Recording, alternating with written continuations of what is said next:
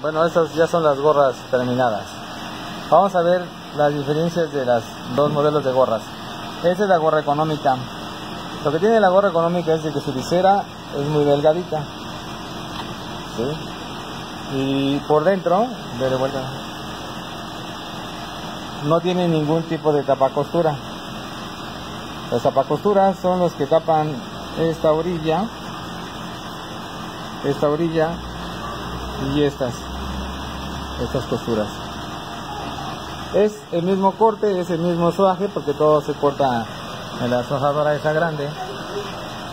Y y es lo que tiene que no, no levanta nada o sea así como está la gorra así se queda porque no tiene ningún refuerzo por dentro.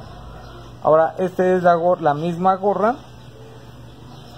pero trabajada con ojillos aquí en el frente en este frente tiene una costura que no lo tiene la económica. La económica no tiene esta costura. Este frente sí lo tiene. También tiene tapacosturas que le da mucha vista. Y, ahora sí ya la volteamos. Ya todo lo que está de negro es tapacostura. El tapacostura puede ser este blanco o negro o amarillo